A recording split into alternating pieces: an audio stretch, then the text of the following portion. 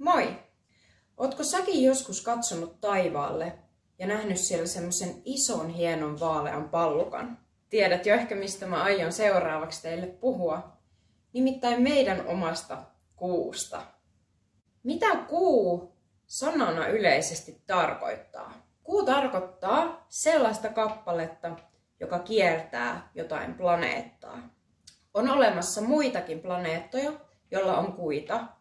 Esimerkiksi meidän naapuriplaneetalla Marsilla on kaksi kuuta. Ja Jupiterilla on esimerkiksi jo noin 90 kuuta. Eli ihan tosi paljon. Meidän maapallolla on kuitenkin vain yksi kuu. Ja sen nimi on kuu. No miten kuu sitten syntyi?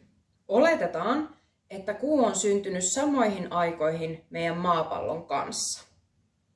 Silloin kun maapallo oli vielä tosi nuori, niin maapalloon törmäs sellainen vauvaplaneetta, jonka nimi oli Teija. Ja tämän törmäyksen seurauksena maapallon kiertoradalle lensi kaikenlaista ainetta. Ja siitä aineesta sitten muodostui se meidän kuu. Kuun etäisyys maahan vaihtelee pikkusen, mutta se on maapallosta noin 400 000 kilometrin päässä. Jos maapallo olisi oikeasti näin pieni, niin silloin kuu olisi näin pieni, niin kuin tämä valkoinen pallo, ja ne olisi näin kaukana toisistaan.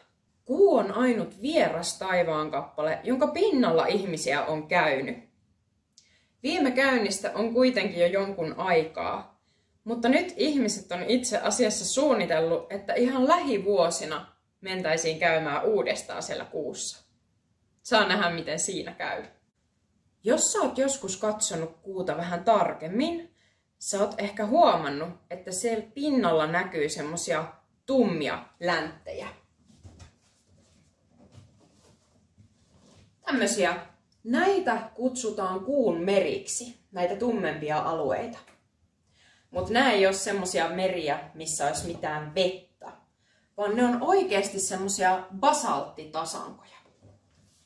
Ne basalttitasangot on syntynyt silleen, että silloin kun kuu oli vielä tosi nuori, niin sieltä kuun sisältä pääsi purkautumaan laavaa kuun pinnalle.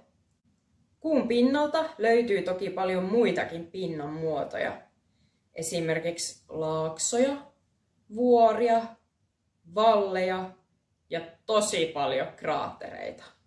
Kuu on niin sanotusti vuorovesi lukkiutunut. Se tarkoittaa sitä, että kuun pyöriminen on hidastunut semmoiseen tahtiin, että se näyttää aina saman puolen itsestään meille tänne maapallolle. Te olette varmaan joskus myös huomannut, että välillä kuu näyttää semmoiselta ihan pyöreältä pallolta ja välillä se näyttää vähän semmoiselta niin kuin jopa banaanin näköiseltä, semmoiselta sirpiltä. Se, näyttääkö kuu pyöreältä vai banaanilta vai puolikkaalta, johtuu ihan siitä, että missä kohtaa maapallon ympärillä se on kiertämässä. Kuu ei itse loista omaa valoansa, eli me nähdään kuu sen takia, että auringon valo osuu sen pintaan. Ja riippuen siitä, missä kohdassa se on maapallon ympärillä aurinkoon nähden, niin me nähdään joku tietty kuun vaihe. Kuu kiertää maapallon noin kerran kuukaudessa. Miettikääpä sitä sanaa. Siitähän se tulee tuosta kuun kiertämisestä. Eli kuukausi. Silloin, kun on uusi kuu, niin silloin me ei nähdä kuuta ollenkaan. Silloin se tarkoittaa sitä, että kuu on maapallon ja auringon välissä. Jos meillä taas on täysikuu, eli että me nähdään se kuu kokonaisena pallona, niin silloin se tarkoittaa sitä, että maapallo on kuun ja auringon välissä. Joskus me pystytään nähdä myös kuun pimennyksiä, ja silloin se kuu näyttää semmoiselta vähän punaiselta. Kuun pimennys tarkoittaa sitä, kun maapallon varjo osuu kuun pinnalle. Eli kuu on kaiken kaikkiaan aika tosi kiva juttu.